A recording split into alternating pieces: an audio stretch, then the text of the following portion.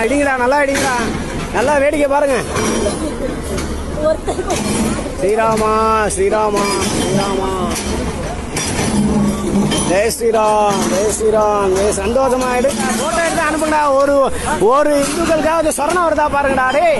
ஒரு இந்துக்களுக்காக சொரணம் வருதா இந்த டிஎம்கேக்கு ஓட்டை போட்டு செத்தீங்கடா வாழ்க்கையில.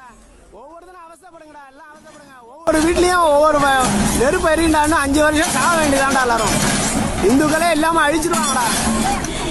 இன்னும் ஒரு அஞ்சு வருஷம்ல நீ இந்துக்களே இங்க வாழ முடியாதுடா. கம்மலாங்களா எல்லாம் பகவான் பகவான் இருக்காருங்கிறது எப்படிதான் நம்புறதுன்னு புரியல. பின்னாடி பின்னாடி நல்லா ஒத்து கவனிங்க. பின்னாடி ஒரு சர்ச்சு. இதை ஒட்டி இருக்கிற இந்த சர்ச்சு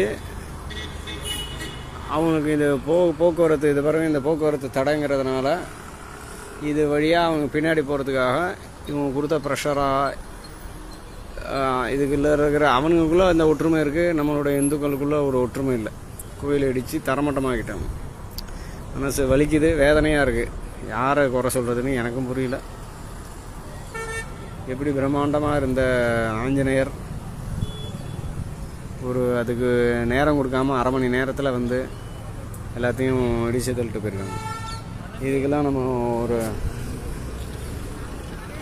மனசு கஷ்டமாக இருக்குது இன்னும் பற்றி சொல்கிறதுக்கு ஒன்றும் இல்லை. பொதுமக்கள் வேடிக்கை பார்த்துட்டு தான் போகிறாங்களே தவிர ஒருத்தரும் இதில் இறங்கி வந்து இதுக்கு இது பண்ணலை.